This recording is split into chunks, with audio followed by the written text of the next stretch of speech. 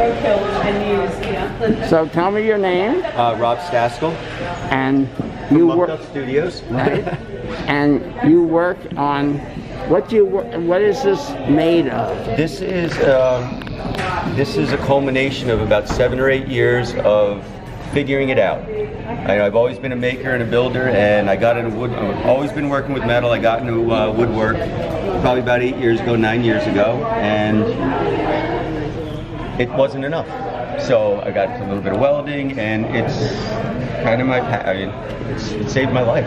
I love this stuff. But yeah, it's just a conglomeration of all different ideas, and you know, pulling all the darkness out of my head.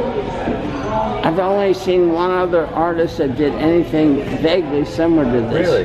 And it was at a street fair in Hoboken. And uh, you are infinitely more complicated. Thank you. Well, I, you know, all the old biomechanical, the Giger stuff. You know. Now, is uh, this carving or No, that's just a found piece of wood. That's a knot. That's not. That's the beginning of a branch from a tree. I think a unicorn horn isn't this spirally beautiful thing. I think in nature, a real unicorn horn, and that was found in 1666. Oh wow, you even put words it's found. Oh A little bit of history on that one. wow. A little bit of magical history. Made up. And And some of my weirder drawings and paintings and uh, metal dragons. you're a multi-dimensional artist. I'm a learner. I like to learn. I like to acquire skills and you know get the best I can. What is the hardest? Is it dealing with wood or dealing with metal? I don't think anything's really for me. I couldn't say it, one thing's the hardest or not. Um, that's pretty subjective. I would say for me, the most difficult process is the assembly stuff, like the bigger assembly stuff, like the guns, because I'm there's so many different products. Like this is relatively easy because it's just glue and carving, but stuff like this, I'm welding different metals to I'm welding stainless to pot metal to, but then I have to solder in there. This skill-wise, this kind of stuff is definitely the most difficult when it comes to. I know what you're talking about. I once bought a book on welding. I didn't know there were 2,000 different ways and combinations of welding. Well, you know, Fantastic. you know what I weld with? I am not a structural welder. I grew up building bikes. My dad and I, you know, built a couple bikes and cars.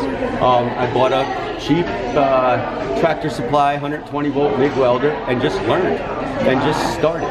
And for me, I'm a process guy. It's the process. It's that learning process. You it's earn your- screwing stuff up, breaking things. Are you able to earn a living at this, or is it? a I don't. hobby? I don't have to. I, I, I hopefully one day I want to get into doing like commission pieces, larger rustic furniture. Oh, you want wow. six foot metal flowers, and you know sunflowers in your front yard? Call me. I'll do it for you.